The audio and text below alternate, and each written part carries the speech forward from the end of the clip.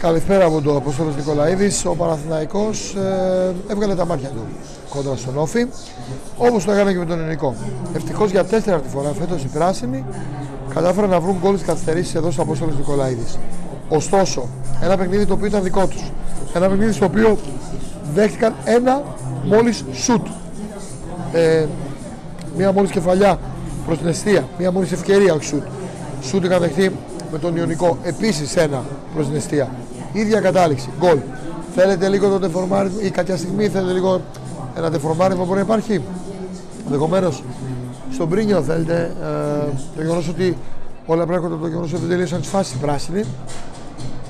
Πάλι θα πούμε τα ίδια. Πάλι δεν ήταν κακός ο Παναθηναϊκός. Δεν ήταν πολύ καλός. Κακός πάλι δεν ήταν. Ωστόσο, για να πάρεις αποτέλεσμα πρέπει να βάλεις ένα γκολ, αλλά πρέπει να μην δεχτεί κιόλας. Το ότι δέχτηκε με τον ε, Ιωνικό γκολ και σήμερα πρέπει να προβληματίσει. Επίσης, το ότι έχει μαχητική ψυχή ο Παναθηναϊκός είναι γνωστό και το απέδειξε ξανά. Και φυσικά τίποτα δεν είχε τελειώσει το πρωτάθλημα και δεν έχει τελειώσει και τώρα. Το άλλο κομμάτι είναι ε, σημαντικό ότι ο Παναθηναϊκός δεν ήταν συγκεντρωμένος όσο έπρεπε. Γιατί, Γιατί έπαιξε όφη από το 10ο λεπτό με παίχτη λιγότερο. Οπότε, ναι, μεν πολλές φορές αυτός συσπηρώνει τις ομάδες να βγάλουν και όντως όφη έπαιξε πολύ καλά παρά τις καθυστερήσεις που σκιάζουν, αν θέλετε, πάντα το άθλημα. Όντως ο διαιτητής θα μπορούσε να κρατήσει και περισσότερες καθυστερήσεις. Οι αποφάσεις του οι περισσότερες ήταν σωστές. Αλλά τις καθυστερήσεις νομίζω ότι κράτησε λιγότερο χρόνο. Παρά τα αυτά, ο Παναθηναϊκός πέταξε στην ουσία σχεδόν ένα 90 λεπτό με παίχτη περισσότερο. Α, τον γκολ του Ιωαννίδη λυτρωτήσει για ακόμη μια φορά για τον Παναθηναϊκό. Καταδεικνύει ότι ίσως έπρεπε να έχει μπει νωρίτερα και το σπόρα δεν δείχνει να είναι σε πολύ καλή κατάσταση. Ο Παλάσιος μάλλον πρέπει να τα βάλει με την κατεμιά του, έτσι ώστε την έλλειψη αυτοσυγκέντρωσης που έχασε κάποιες ευκαιρίες γιατί το δοκάρει δεύτερη φορά. Μετά την νίκια η τύχη του γυρνά την πλάτη. Α, όλη η ομάδα, ενώ έχει μιλήσει για αυτό το παιχνίδι που σημαντικό είναι για να κλείσει χρονιά, θα πρέπει να προβληματιστεί γιατί από εδώ και πέρα έρχεται ένας ανήφορος. Τρία μαζί με τον Μπάουκ, έρχεται αγώνας με τον Βόλο, έρχεται και βλέπετε ότι κανείς δεν χαρίζει τίποτα. Θα πέσει κορμιά στη συνέχεια. Ο Παναθηναϊκός λοιπόν, ενώ τώρα φεύγει ο Γιωβάνο και χειροκροτείται προς τα αποδητήρια, ο Παναθηναϊκός πέταξε, έκανε στην ουσία τη ζωή του πιο δύσκολη σήμερα, γιατί μην ξεχνάμε ότι έχει δύσκολα πρόγραμμα να πάει Γιάννενα, Νέα Φιλαδέλφια και οι άλλοι παίζουν. Αλλά επειδή ο Παναθηναϊκός δεν έχει μάθει να κάνει πρωταθλητισμό τα τελευταία χρόνια, δεν θέλει και πολύ, εάν δεν το διαχειριστεί ψύχρεμα και καλά, να σε πάρει από κάτω. Ακόμα ο Παναθηναϊκός είναι αφεντικό για όλους όσοι θέλουν να ρίξουν μια ματιά στην βαθμολογία.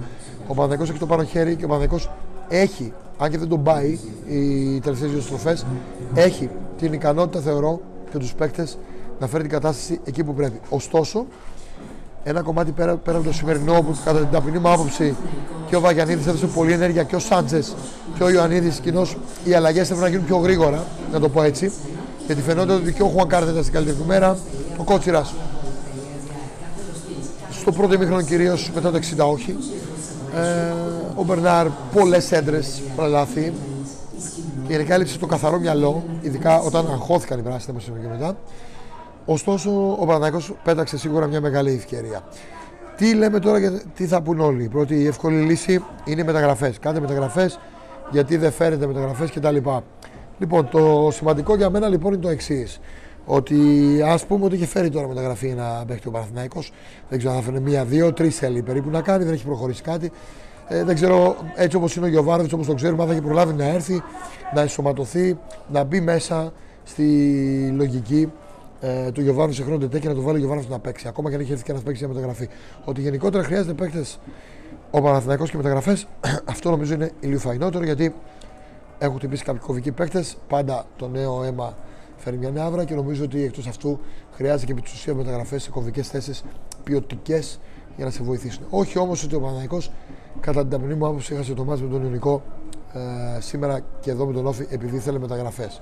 Ε, το έχασε επειδή δεν προηγήθηκε να δεν τελείωσε μάλλον τις φάσεις που του παρουσιάστηκαν και στα δύο παιχνίδια στο βαθμό που του παρουσιάστηκαν από πλεονεκτική θέση. Ωστόσο, το πρωτάθλημα είναι μαραθώνιος, συνεχίζεται. Εμείς θα μείνουμε ε, στην παρέα σας. Θα ακολουθήσουμε τον Παναθηναϊκό στις αποστολές του και θα δούμε στο τέλος όταν ξυρίσει το γαμπρό πόσα πίδια πιάνει ο Σάκοφ που λένε. Τι θα κάνει το φίλο, έχει πολύ ανήφορο ακόμα. Να θυμίσω για τους φίλους του Πάπαντο ότι αύριο στις 5.30 το απόγευμα, Πέμπτη δηλαδή 5.30 το απόγευμα, ο Κώσος Καλαφατάκης είναι καλεσμένος μαζί με τον Τζάνι Σταυρακόπουλο στην εκπομπή Ταξίδι στα Αστέρια. Θα δείτε και θα ακούσετε την περιγραφή από το ΑΚΑ την Παρασκευή. Ε, την Παρασκευή λοιπόν θα ακούσετε ε, το, το παιχνίδι του Παναθηναϊκού με το Ολυμπιακό, το αιώνιο ντέρμπι και φυσικά την άλλη εβδομάδα θα έχουμε σερή εκπομπές, θα έχουμε πολλές εκπομπές και όλα ε, θα πάνε όπως πρέπει να πάνε νομίζω από εκεί και πέρα. Λοιπόν, εδώ κάποιοι φίλοι του Παναθηναϊκού με κάποιους έχουν βάλει στον χώρο. Αυτό δεν αλλάζει ότι ο Παναθηναϊκός ισοφάρισε τέταρτη φορά φέτος. Ε, στις καθυστερήσεις πήρε έσωσε τουλάχιστον προσχήματα, κράτησε σε ένα ανεκτό επίπεδο τη διαφορά ακόμα από τους υπόλοιπους, κυρίως από την ΑΕΚ. Βλέπω ότι έχει 14 τελικές. 14 μία τελική. Μία τελική ο Παναγιώτης και φάγε γκολ. 78-22 η κατοχή της μπάλας. Τα στατιστικά είναι απίστευτα πραγματικά για να δικαιολογήσουν αυτό το αποτέλεσμα. Έτσι. Είναι απίστευτα. Λοιπόν, 14 μία τελικές, 4 προς την αιστεία, μία προς την αιστεία όφη. 0 αποκρούσεις, 0-3 αποκρούσεις. Ένα δοκάρι ο Παναθυναϊκό. 13 κόρνερ 0 όφη, 2 offside 1, 2 κίτρινες 5 όφη και μια κόκκινη. 14 φάλο Παναθυναϊκό μπήκε στη μάχη, 12 όφη, 78-22 κατοχή παιδιά. Λοιπόν, αυτά. Να είστε όλοι καλά, τον Νίκο Παγκάκη. Μένουμε σε επαφή. Η μάχη συνεχίζεται και η μαχητική ψυχή του Παναθηναϊκού θεωρώ ότι ακόμα δεν έχει σβήσει αυτό το πρωτάθλημα. Είναι πολύ νωρίς και έχουμε πολύ δρόμο ακόμα. Θα τα πούμε να είστε καλά.